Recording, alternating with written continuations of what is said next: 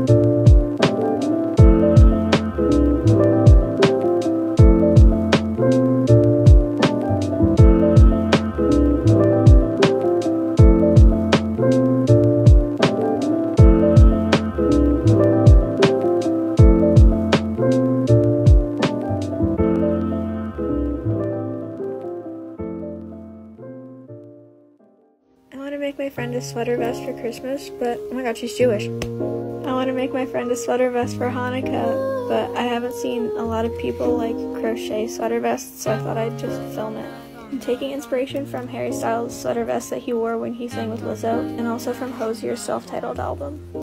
These are all the colors I bought, so they're all going to be stripes of these, and then this is going to be like the ribbon color. Day one progress. I've got this like half the front done. I have a lot of tails I have to tuck in.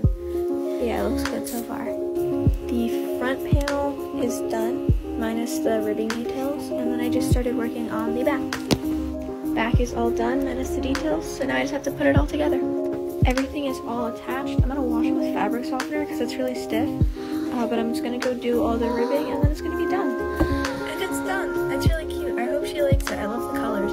Uh, it fits me kind of weird because I'm smaller than her, but it's really fun. He only likes her because she's old. She's